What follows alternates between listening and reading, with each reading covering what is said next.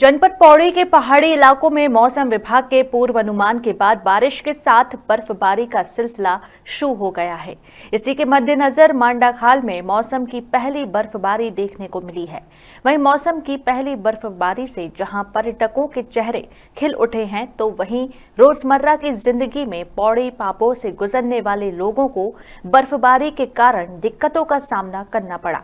बता दें कि बहुत से यात्रियों के वाहन मुख्य मार्ग में अधिक बर्फबारी के कारण रपट भी गए और कई यात्रियों को तीन से चार किलोमीटर की दूरी भारी बर्फबारी के कारण पैदल ही तय करनी पड़ी।